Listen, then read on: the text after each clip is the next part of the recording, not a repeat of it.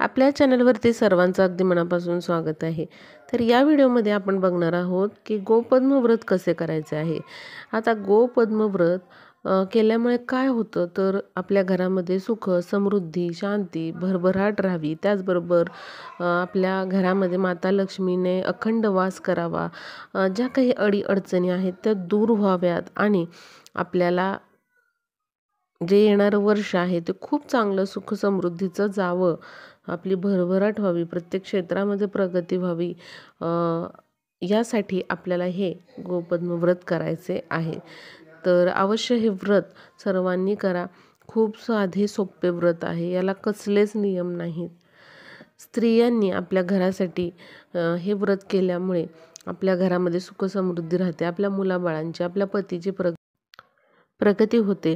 घरामध्ये कुठल्याच प्रकारची अडचण किंवा संकटे येत नाहीत. त्यामुळे प्रत्येक महिलेने आवर्जून हे व्रत जे आहे ते या चातुर्मासात करायचे आहे. तर बघा स्त्रियांना शक्य नसेल तर घरातील इतर कोणीही हे व्रत आपल्या घरासाठी करू शकतात. आता बघा हे गोपद्म व्रत जे आहे ते चातुर्मासात करायचं असतं. चातुर्मास म्हणजे काय? तर देवशयनी एकादशी. आषाढी एकादशीपासून ते देव उठणी एकादशीपर्यंत हे जे व्रत आहे ते तुम्ही कधीही करू शकतात. बरेच जण आषाढी एकादशी दिवशी या व्रताची सुरुवात करतात. पण बघा आषाढी एकादशी दिवशी प्रत्येकाला शक्य होईल हे व्रत करणं हे शक्य नाही आहे तर असे अशा महिला काय करू शकतात? तर तुम्ही या चातुर्मासामध्ये या चार महिन्यामध्ये कधीही हे व्रत सुरुवात करू शकता. आता चातुर्मास सुरू झालेला आहे आषाढी एकादशीपासून. ते देव उठणी एकादशीपर्यंत हे व्रत कधीही करू शकता. आता बघा श्रावण महिना यावर्षी दोन हजार चोवीसमध्ये पाच ऑगस्टपासून सुरू होत आहे. तर तुम्ही श्रावण महिन्यामध्ये अवश्य हे व्रत करू शकता. ज्यांनी सुरुवात केलेली नाही आहे या व्रताला गोपद्म व्रताला आषाढी एकादशीपासून तर ते सर्वजण श्रावण महिन्यामध्ये सुरुवात करू शकतात. श्रावणातला पहिला जो वार आहे तो सोमवारच आलेला आहे पाच ऑगस्टला. तर तुम्ही श्रावण महिन्यामध्ये हे व्रत सुरुवात करू शकता. आणि जरी श्रावण महिन्यामध्ये तुम्हाला हे व्रत करता आलं नाही काही कारणामुळे पहिल्या सोमवारी नाही जमलं तर तुम्ही श्रावण महिन्यातील कुठल्याही सोमवारपासून किंवा कुठल्याही वारापासून या व्रताला सुरुवात करू शकता. त्याचबरोबर काही कारणांमुळे तुम्हाला श्रावण महिन्यात हे जमलं नाही व्रत. तर तुम्ही या चातुर्मासामध्ये म्हणजे देव उठणी एकादशीपर्यंत कधीही या व्रताला सुरुवात करू शकता. याला कशाचंही बंधन नाही. तुम्हाला हे कळलं असेल की आता कसं हे व्रत करायचं म्हणजे कधीपासून सुरुवात करायचं? श्रावण महिन्यामध्ये तुम्ही संपूर्ण महिनाभर हे व्रत करू शकता. फक्त जेव्हा कधी तुम्ही हे गोपद्म व्रत सुरुवात कराल ते व्रत मात्र तुम्हाला देव उठणी एकादशीला संपवायचं आहे. म्हणजे उद्यापन त्याचं देव उठणी एकादशीला करायचं आहे. एवढं आपल्याला लक्षात घ्यायचं आहे तुम्ही सुरुवात कधीही करू शकता. तुम्ही हा व्हिडिओ थोडासा उशिरा बघितला. श्रावण महिन्यामध्ये उशिरा बघितला किंवा श्रावण महिन्यानंतर बघितला आहे तुम्ही तरी देखील चालेल. तुम्ही लगेचच हे व्रत सुरुवात करू शकता. तुम्ही आत्ता बघितला आहे समजा हा व्हिडिओ. श्रावण महिना सुरुवात व्हायला अजून वेळ आहे अवकाश आहे. तर तुम्ही लगेच आजपासून देखील हे व्रत करू शकतात. बऱ्याच जणांनी आषाढी एकादशीपासून सुरुवात केलेली असते. किंवा तुम्ही आता पुढच्या महिन्यातली जी पौर्णिमा आहे किंवा एकादशी आहे तेव्हा पण हे व्रत सुरुवात करू शकता. कधीही तुम्ही सुरुवात करा. फक्त देवउठणी एकादशीला या व्रताची सांगता म्हणजेच उद्यापन आपल्याला करायचं आहे. म्हणजे तुम्ही या गोपद्म व्रताची सुरुवात कधीही करू शकता. तुम्ही श्रावणात करू शकता किंवा आत्ता तुम्ही व्हिडिओ बघताय तर तुम्ही आत्ता लगेचच या व्रताची सुरुवात म्हणजे उद्यापासून लगेचच करू शकता. बऱ्याच जणांनी आषाढी एकादशीपासून सुरुवात केलेली असते. तुम्हाला समजा नाही जमला आत्ता तर पुढच्या महिन्यातील तुम्ही पौर्णिमेपासून एकादशीपासून करू शकता या व्रताला सुरुवात. फक्त एकच आपल्याला काम करायचं आहे तुम्ही व्रताची सुरुवात कधीही करा पण त्याची सांगता म्हणजेच उद्यापन मात्र देवउठणी एकादशीला आपल्याला करायचे आहे. देवउठणी एकादशी नोव्हेंबरमध्ये यावर्षी आलेले आहे.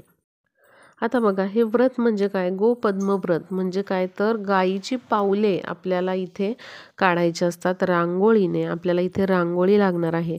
चातुर्मासामध्ये ही सेवा जी आहे ती आपल्याला करायची असते. चातुर्मास म्हणजेच भगवान विष्णूंना हे चार महिने समर्पित असतात. या चार महिन्यामध्ये भगवान विष्णूंची होईल तेवढी सेवा आपल्याला करायची असते. आणि गोपद्मव्रत हे त्यातीलच एक व्रत आहे. त्यामुळे तुम्ही या चातुर्मासामध्ये हे गोपद्मव्रत नक्कीच करायला पाहिजे. याने तुम्हाला खूप चांगला असा अनुभव येईल. इतके चांगले व्रत आहे. आता आपल्याला सगळ्यांना माहिती आहे हिंदू धर्मामध्ये गाईला देवाचं स्थान आहे. गाईच्या पोटामध्ये तेहतीस कोटी देव असतात असं आपण लहानपणापासून ऐकत आलेलो आहो आहोत. प्रत्येक सणासुदीला शुभ कार्य कार्याच्या प्रसंगी आपण गाईला नैवेद्य हा देत असतो. त्यामुळे बघा गाई वासराचं पूजन करणं अत्यंत शुभ मानलं जातं. आता हे जे व्रत आहे गोपद्म व्रत या व्रतामध्ये आपल्याला गाईच्या पावलांची रांगोळी काढायची असते. तर इथे तुम्ही बघू शकता अशा पद्धतीने गाईची पावले आपल्याला रांगोळीने काढायची आहेत. ही तुम्ही हाताने काढू शकता किंवा गोपद्म व्रतासाठी असं तुम्ही जो साचा असतो रांगोळीचा तो वापरू शकता. तर या ठिकाणी या व्रतासाठी आपल्याला तेहतीस गोपद्म असे काढायचे असतात. आणि तुम्ही हे गोपद्म जे म्हणजे आहे ते तुमच्या देवघरामध्ये काढायचे आहेत. देवघरामध्ये तुम्ही पाट घ्या किंवा एखादा एखादा फरशीचा तुकडा असेल तर तो तुम्ही वापरू शकता. काहीच नसेल तर देवघरासमोर आपल्याला ही जी रांगोळी आहे तेहतीस गोपद्म काढायचे आहेत. अशा पद्धतीने ही रांगोळी काढल्यानंतर तुम्हाला फक्त पांढरी रांगोळी कधीच ठेवायची नाही. तर या गोपद्मांवरती तुम्हाला हळद कुंकू वाहून घ्यायचं आहे. एक दिवा तुम्हाला तिथे लावायचा आहे. आणि बघा तुमच्याकडे जर गाय वासराची रांगोळीचा साचा असेल तर अवश्य तुम्ही अशा प्रकारे गाय वासराची रांगोळी देखील तिथे काढू शकता. म्हणजे महत्त्वाचं यामध्ये गोपद्म काढणं आहे. तेहतीस गोपद्म जे आहेत अशा प्रकारे आपल्याला काढायचे आहेत साच्याने किंवा हाताने. आणि तुमच्याकडे जर गाय वासराच्या रांगोळीचा साचा असेल तर तो देखील तुम्ही शेजारी एक आवड म्हणून काढू शकता. त्यावर देखील हळद कुंकू वाहून घ्या. एखादं फूल तुम्ही यावरती वाहून घ्यायचं आहे. पिवळं फूल असेल तर अतिशय उत्तम. आणि ओम नमो भगवते देवाय नमः।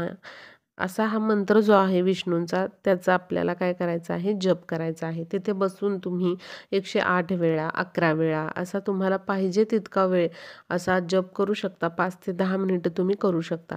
तर ही जी रांगोळी आहे आपल्याला देवघरासमोर अशी काढायची आहे. दिवसभर ही रांगोळी तिथे ठेवायची आहे.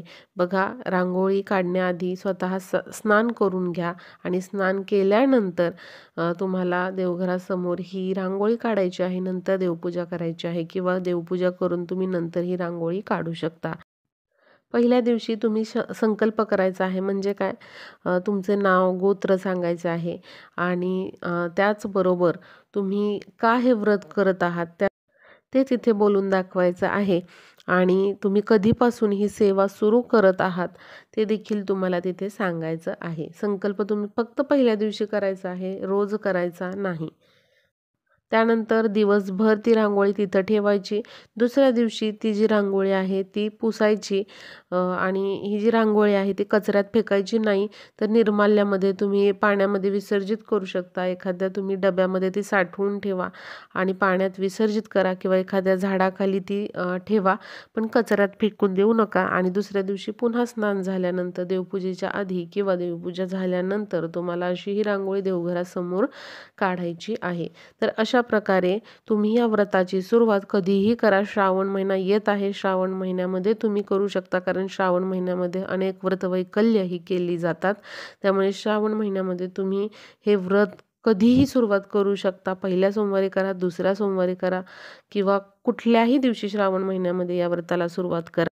किंवा श्रावण महिन्यानंतर करा या चातुर्मासामध्ये. कधीही या व्रताला तुम्ही सुरुवात करा. फक्त तुम्ही याची सांगता म्हणजेच उद्यापन मात्र देव उठणी एकादशीला करायची आहे जी नोव्हेंबरमध्ये आहे एवढं लक्षात घ्या.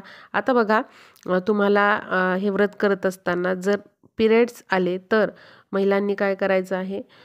तर तेवढे चार पाच दिवस सोडून तुम्ही ही सेवा करायची आहे. म्हणजे चार पाच दिवसात या सेवा करायची नाही आहे तुमच्या घरामध्ये कोण करण्यासारखं असेल तुमची मैत्रीण असेल किंवा शेजारी असतील किंवा घरातील इतर कोणी असतील तर त्यांना तुम्ही अशी रांगोळी काढायला लावू शकता.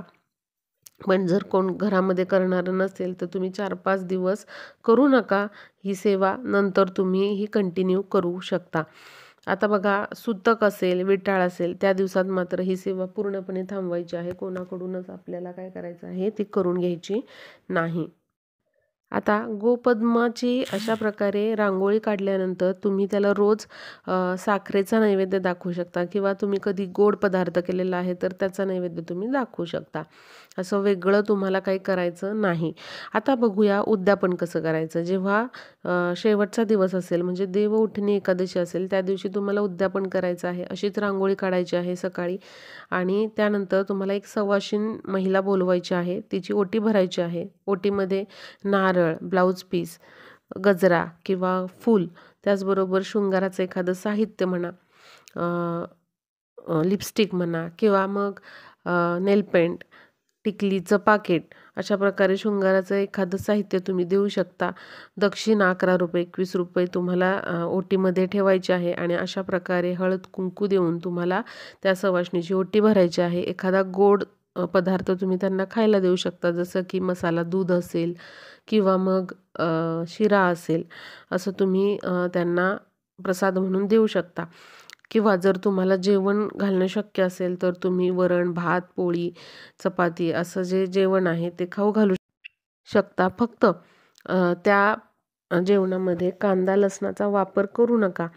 आणि अशा प्रकारे तुम्ही जेवण पण त्यांना खाऊ घालू शकता. एखादं जोडपं बोलवणं शक्य असेल तर त्यांना तुम्ही उद्यापनासाठी बोलवू शकता. पूर्णपणे तुमच्यावर अवलंबून आहे. तुम्हाला सव्वाशीन महिला बोलवायची असेल तर फक्त सव्वाशीन महिलेला बोलवू शकता. किंवा मग एखादं जोडपं तुम्ही जेव घालू शकता. एक सव्वाशीन महिला बोलवा पाच बोलवा सात बोलवा. तुम्हाला जसं तुम्हाला शक्य आहे त्याप्रमाणे तुम्ही हे उद्यापन करू शकता. अगदी साध्या सोप्या पद्धतीने हे उद्यापन केलं तरीही चालेल. आणि त्या सवाशीन महिलेला तुम्ही एखादा गोपद्मव्रताचा अशा प्रकारे रांगोळीचा साचा देऊ शकता. जे व्रत तुम्ही केलेलं आहे तेच तुम्ही त्यांना त्या रांगोळीचा साचा हा देऊ शकता. तर अशा प्रकारे अगदी साध्या सोप्या पद्धतीने हे गोपद्मव्रत जे आहे ते तुम्ही करू शकता. अवश्य प्रत्येक महिलेने हे व्रत नक्की करावे. कारण बघा याला कसले नियम नाही अटी नाही तुम्ही याला कसलाच उपवास करण्याची गरज नाही. त्याचबरोबर कुठलेच याला नियम नाहीत. तुम्ही सर्व पदार्थ हे खाऊ शकता. फक्त मांसाहार तुम्हाला वर्ज्य करायचा आहे. एवढाच फक्त नियम आहे. बाकी कुठलेच नियम या व्रतासाठी नाहीत. तुम्ही अगदी साध्या सोप्यापणाने हे गोपद्मव्रत करू शकता. आता बघा चातुर्मासामध्ये हे व्रत तर नक्कीच करायचं आहे आपल्याला. याशिवाय बघा या चातुर्मासामध्ये विष्णूंची होईल तेवढी सेवा तुम्ही करायची आहे. विष्णू सहस्त्रनाम याचं पठण तुम्हाला करायचं आहे किंवा तुम्ही व्यंकटेश स्तोत्राचं पठण करू शकता. गाय वासराची मूर्ती तुमच्याकडे नसेल तर अवश्य तुम्ही ही मूर्ती जी आहे चातुर्मासामध्ये आणून ठेवा आणि तुमच्या देवघरामध्ये तिचे रोज पूजन करा. यामुळे आपल्या घरामध्ये सुख समृद्धी स्थैर्य ऐश्वर सर्व काही लाभते.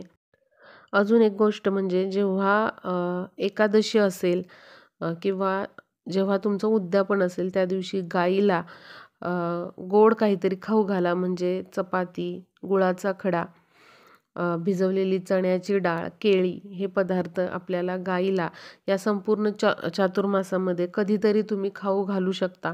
हे व्रत करत असताना तुम्ही गुरुवारी किंवा मग तुम्हाला जमेल त्या दिवशी अवश्य अशा प्रकारे हे गाईला खाऊ घाला.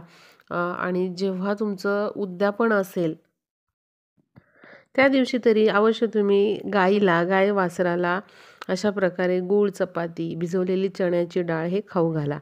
तर अवश्य असं हे गोपद्मव्रत प्रत्येक महिलेने या श्रावणामध्ये किंवा या चातुर्मासामध्ये अवश्य करा. याचे तुम्हाला नक्की फायदे जाणवतील याचे खूप चांगले अनुभव येतील.